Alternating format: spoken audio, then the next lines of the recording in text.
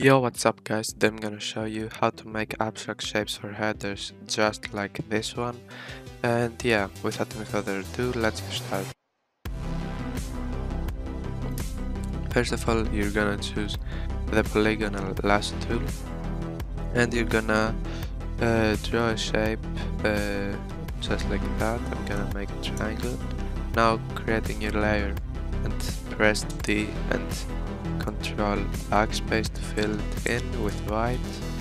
Now bring it wherever you like, make it a bit bigger if you want, and creating your layer and clipping mask it to the one below by holding alt and clicking in between. And now take the polygonal lasso tool again, click on one of the edges, go around here in the middle and go over to another edge select it and press G to bring the gradient tool.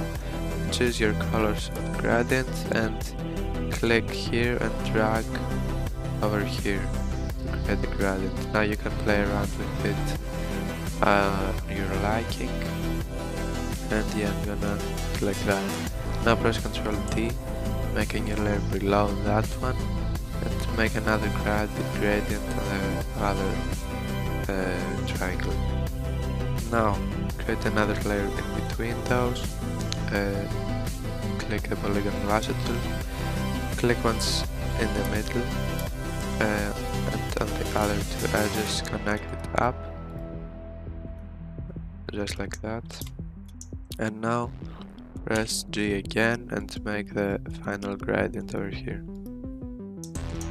There we go, I like this one, so yeah. Next, you're gonna make another layer above all these. Uh, connect the clipping masket to the white and set the blend mode to overlay. Now uh, you can choose any spot to make it even brighter, add some highlights. Something like that maybe or like that. Yeah, that's good in my opinion.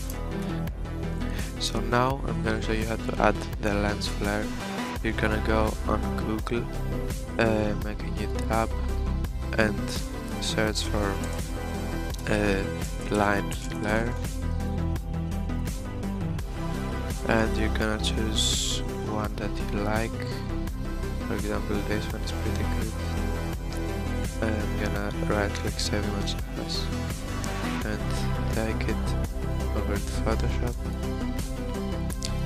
now you can uh, take the eraser tool and delete if there's any stuff like that.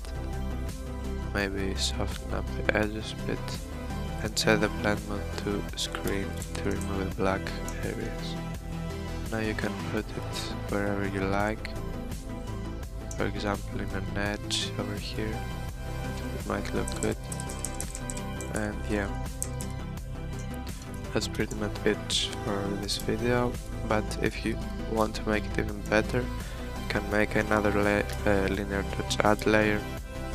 And with a soft round brush and the dark color of the your color uh, dab once around it.